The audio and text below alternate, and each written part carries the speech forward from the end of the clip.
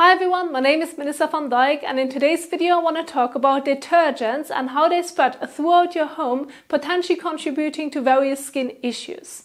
Now my own back acne improved significantly when I switched to an enzyme-free powder detergent and this led me to research how these ingredients behave and why they might cause problems.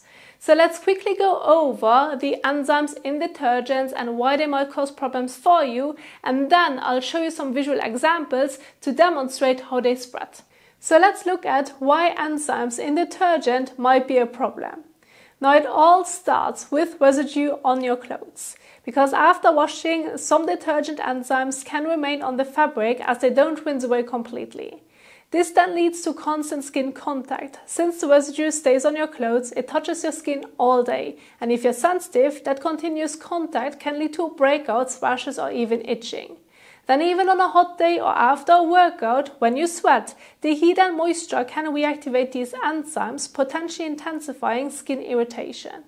And the last point would be transfer to surfaces. So when you lean on chairs, couches or other surfaces, the residue can rub off onto them and over time the entire living space can become contaminated, making it harder to avoid contact.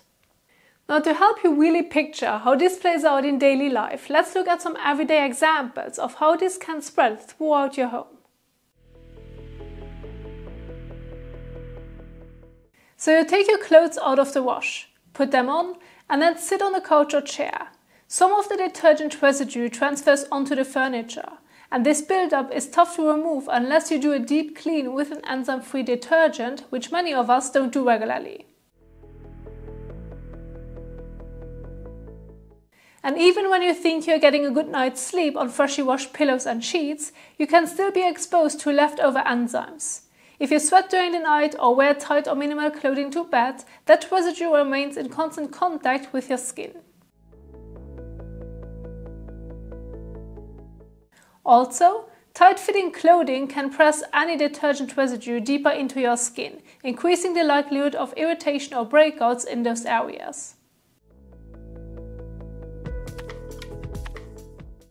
Lastly, Consider the towels you use to dry your dishes or wipe down kitchen surfaces like cabinets and the cooktop.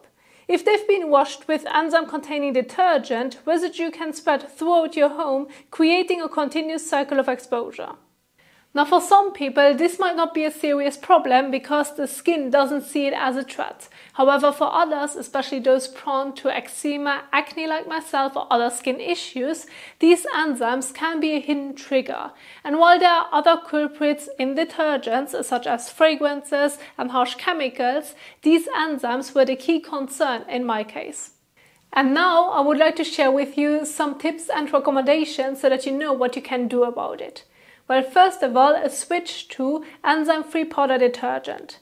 Now, depending on where you live, uh, finding an enzyme-free powder detergent might be challenging. But resources like internet searches or ChatGPT can help you locate options. And these detergents are often also free of fragrances, petrochemicals and other potential irritants. Then, if possible, try a test run by washing a few items, especially those that come in direct contact with your skin, like pillowcases, towels or t-shirts, with an enzyme-free detergent or without any detergent at all to see if your skin improves. Then consider fragrance-free options because fragrances and other additives can irritate your skin. Switching to fragrance-free products can further reduce potential issues and help your skin recover. And lastly, do some deep cleans more often. Now, over time, sofas, chairs and bedding can accumulate residue, so occasionally deep cleaning or steam cleaning these areas can help reduce leftover irritants. I hope that this video helped you visualize how enzyme-containing detergents can contribute to skin irritation and that small changes like switching to an enzyme-free detergent can already make a big difference, especially if you suffer from stubborn skin issues. And thank you so much for watching. I hope that this information brings you one step closer to healthier skin. And if you enjoyed it, don't forget to give it a thumbs up and share it with someone who might benefit from it. And I'll see you in the next one.